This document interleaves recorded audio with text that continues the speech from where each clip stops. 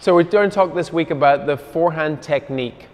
Now, there are lots of different ways to hit a ball, and as we've seen in the history of all sports with a racket, there's amazing players who play completely out of the box, but then there's also players who have the most like exact swing that anyone would want to have.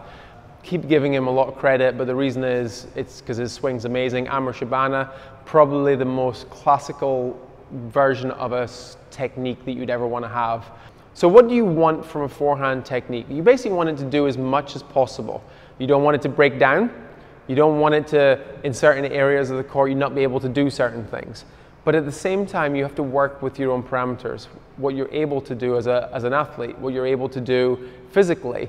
Or maybe, you know what, you might just want to be really attacking, have a huge amount of cut on the ball, and basically have a technique that allows you to do that. I personally was always trying to think about making sure the racket was prepped, the racket face was open, but the wrist wasn't cocked. The racket face is sort of laid a little bit, but it's also turned.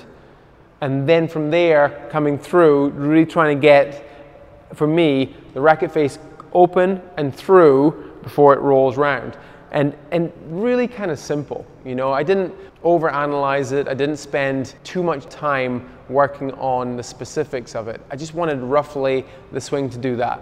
And if I felt like I could come through the ball with a little bit of cut, I could change the, change the angle at the last second on the forehand, and the swing would actually really flow through, and I could let it go afterwards with a follow through, then I was happy.